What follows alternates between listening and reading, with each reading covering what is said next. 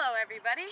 As I've mentioned before in class, soccer is my favorite sport, and the main reason why I came to William Jessup University is because I played soccer on a full ride scholarship. Today, for my video speech, I will be giving you the three basic tips on how to properly shoot a goal. The first step of properly shooting a goal is the way that you hit the ball. So first thing that we're going to do is with the foot that you will not be kicking with, you're going to step right next to the ball. That's called your plant. Now after you've planted, you're to come in and hit the ball with your laces. Notice that I'm not going here, but I'm to come straight forward onto the ball with my laces.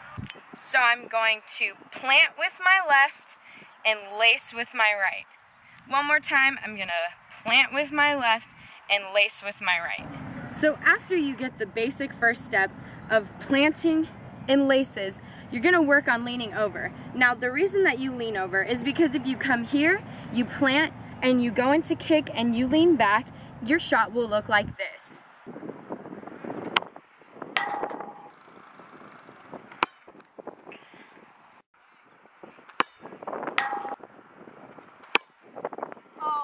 OMG.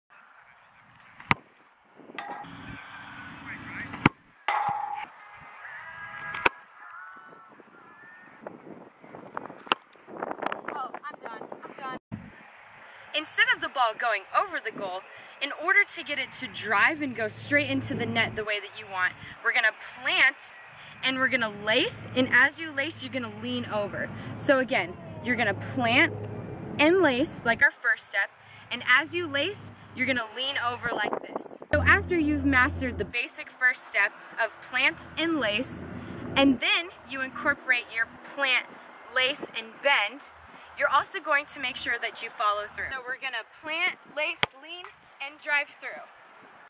Again, so we're going to plant, lace, lean, drive through. The reason that we drive through is because you don't want to look like this in front of the goalie. So after we have our three basic steps of plant and laces, leaning and following through, this is what your shot should look like.